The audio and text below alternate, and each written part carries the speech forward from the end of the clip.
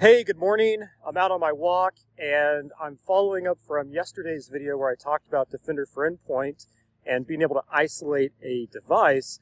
Today I want to show you how to do that automatically using Power Automate. And so I built a Power Automate flow here. Let's take a look at it. The Power Automate flow actually is receiving a trigger from uh, Defender for Endpoint. So you can just go in and do a search for triggers, type in Defender, and you'll see this. And so I'm actually just saying anytime an alert is received, make that a trigger.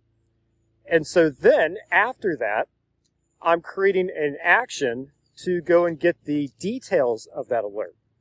And so that's the next step. And then I'm creating a condition. Now that condition says only isolate the machine if it's an if it's a high severity. So that way, if it's an informational severity uh, or even low, that we don't isolate the machine and do something we don't want to do.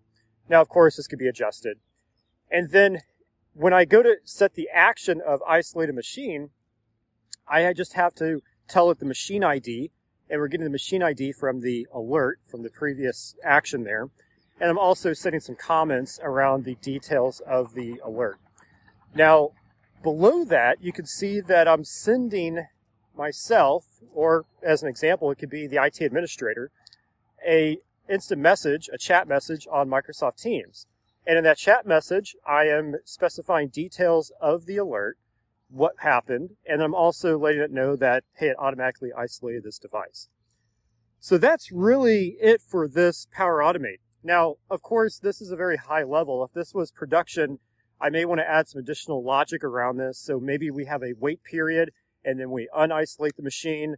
Uh, maybe we do some checks on device risk and then unisolate. There could be some different things you might want to add to the rest of this Power Automate. Anyway, that's it for today's video. Hope you enjoyed this.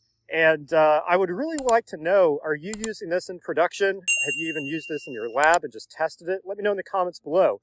And if you're a Microsoft partner, I would love to hear about your thoughts on how you consult and advise your clients on something like this and how you account for it in your design of Defender for Endpoint. All right, everyone. Well, I got to start my day here, so I got to head home. Hope you have a great rest of the day yourself, and we'll see you in the next video. Take care.